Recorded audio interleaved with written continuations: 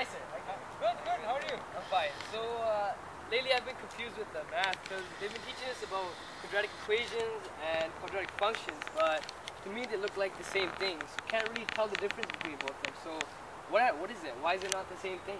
Well, there is huge amount of difference between quadratic equations and quadratic functions. Uh-huh. Equation is like when you say y equals to ax square plus bx plus c, Mhm. then that is an equation. Okay. Well, normally what we do is we just replace this y with f of x, and we say f of x equals to ax square plus bx plus c, and it becomes a function. Yeah. And that's why I think the students get an idea that they're kind of the same thing, but function is more help word. Mhm. Well, it is not really like that. Functions is a whole lot of different things. Well, Yeah. in this way, you saw that uh, y equals to fx That's a type of function. is kind of a replacement. It looks, but that function actually covers up the equation. But function is much more because you know we can represent function in many different ways. Yeah. If I draw a graph like this, a parabola, you know it's parabola, and so it represents a quadratic function. Yeah. So, you know, it's not just the equation. And I can give you a table of values.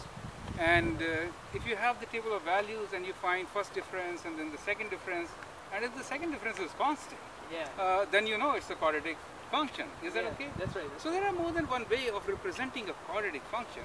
Uh, and in each way, the important thing is for any particular input, you get a unique output. So you also know what input is corresponding to. uh-huh. And when we talk about equations, then solving equation is only an algebraic solution. Here in quadratic functions, we can have different kinds of solutions. If we draw a graph, we can do interpolation of a graph or extrapolation of a Yeah. graph. In mapping diagrams, we know what corresponds to what, Mhm. right? Yeah. And functions also have things like domain, range, how is it rising, behavior, end behavior, what I'm trying to say. So a All these details, things, lot of details in a function, function, which yeah. we are missing out Mm. on the equations.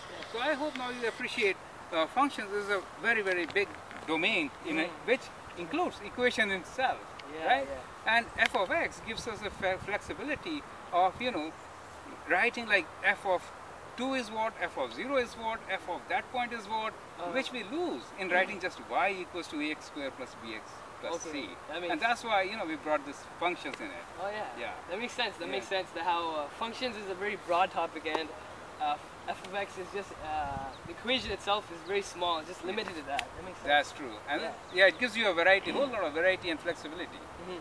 Yeah. So that that Yeah. definitely clears the And yeah, that it opens up the whole game.